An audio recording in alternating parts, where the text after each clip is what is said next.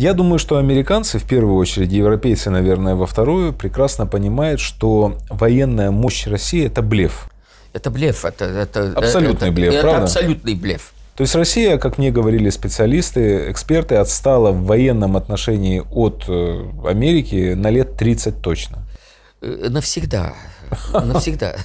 Э, нет, нет, даже не так. Я тебя перебиваю. Вот, допустим, авианесущий крейсер. Страшное дело. Кузя. Кузя. Это Кузнецов. Это тихий ужас. Это тихий ужас даже внешне. Он ржавый. Внешне он ржавый. И подводные лодки. Это, это же все, что там было, это все от Советского Союза. Все наработки, даже эти танки, когда вот на параде, это, это позорище полнейшее. В мое время появился Т-62. Я в Суворовском училище. Пока пара дивизий не полностью не перевооружена на Т-62. Он секретный, никто про него не знает. Вот. Отработали, на учениях проверили, э, наладили ремонтную базу и прочее. А тут экспериментальные, сырые, неотработанные, не принятые на вооружение. И их вывозят на аппарат.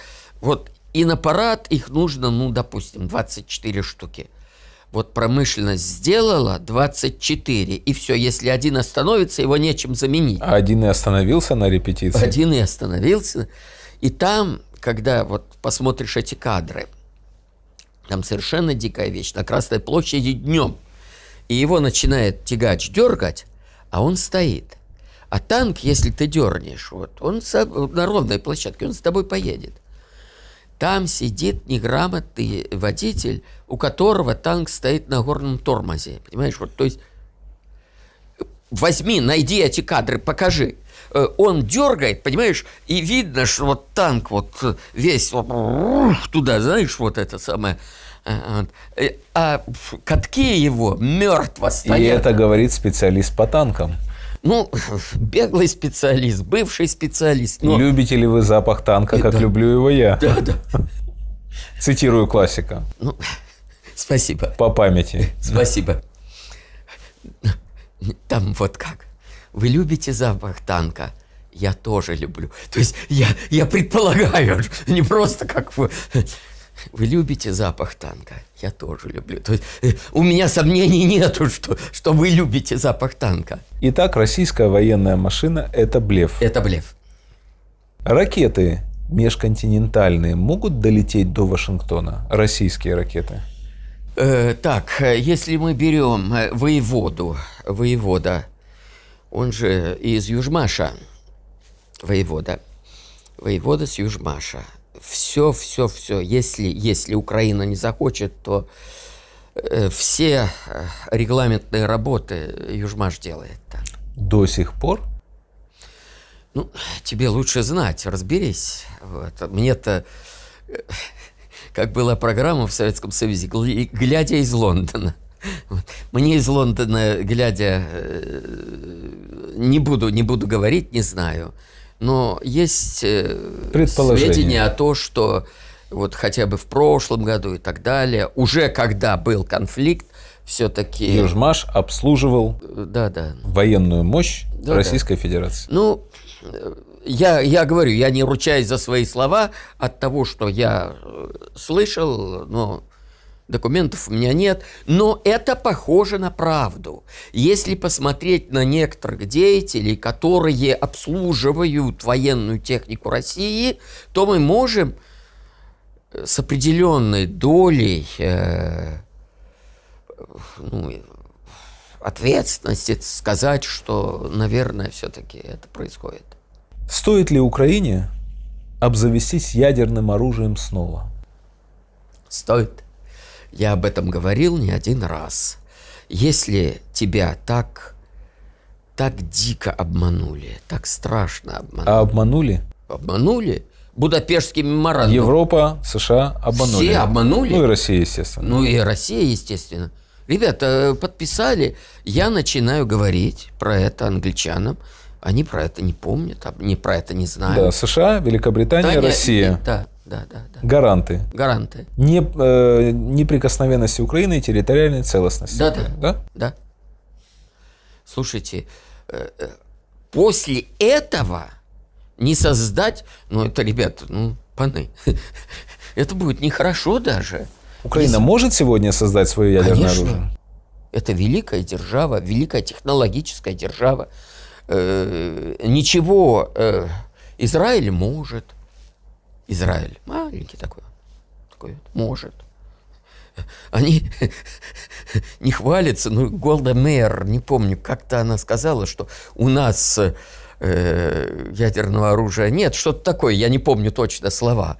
Но если нападут, то мы его применим. Вот, вот что-то в этом роде она сказала. А так нет. Э, Дело в том, что ядерное оружие, ядерное оружие бывает взрывающееся, ядерное оружие бывает в виде э, э, это грязной бомбы. Что такое грязная бомба? Мы берем отходы атомной электростанции, помещаем в реактор, наводим много-много-много реакций, как вот на часы наводим вот светом, и они начинают светиться. Вот Фосфорить, это. да. Да, да. Вот. И загружаем э, в боеголовку с пылью. У, у нас в Советском Союзе. И пылим. И пылим. Вот. У нас на это в Советском Союзе это было БРВ, боевые радиоактивные вещества, БРВ. Э, То есть есть порт, порт Брест, допустим, не наш, а вот. в случае войны порт Брест будет принимать американские транспорты Французский порт. французский порт в случае войны, или какой-то Дувр там, вот, чтобы э, предотвратить прием вот этих транспортов, наносим удар грязной бомбой, распыляем э, радиоактивные вещества, все, и порт не работает. Не надо, кто мешает радиоактивной пылью, и намекнуть, ребята, у вас красивый город Москва, такой красивый, понимаешь, грязную бомбу кто мешает создать? Это, это просто э, в мусор, вот, вот э, пыль, пыль, пыль радиоактивную. Э, То есть оно уже есть. Оно уже есть. Полоний – это грязная бомба, которую применили против моего друга Саши Литвиненко. А вот это вот создать, ну, ума большого не надо.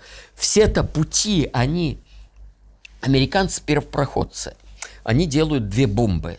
Хиросима и Нагасаки – это две принципиально разные бомбы. Да. Они принципиально по форме они разные, и одна плутониевая, другая урановая. Вот это две принципиально разные бомбы, и одна эксплозивного типа, вот когда со всех сторон сжимается критическая масса, а другая пушечного типа, когда два э, ш- э, полушария сводятся вместе. То есть э, по всем параметрам это две разные бомбы. Вот Совершенно. Возьми вот э, эти снимки, по форме они совсем. Одна вот такая толстая, малыш-толстяк. Э, Это разные-разные вещи от того, что американцы не знали, какой э, правильный путь, и шли по многим путям одновременно, чтобы в случае вот этот тупиковая ветвь, это тупиковая, это тупиковая, а вот это сработало, и это, две сработали одновременно. Так вот, сейчас-то ученым ясно вот эта э, чепуха, вот эта чепуха, э, путь-то проторенный уже, проторенный. И уран есть, проблемы-то какие? Желтые воды, урановые рудники. Да.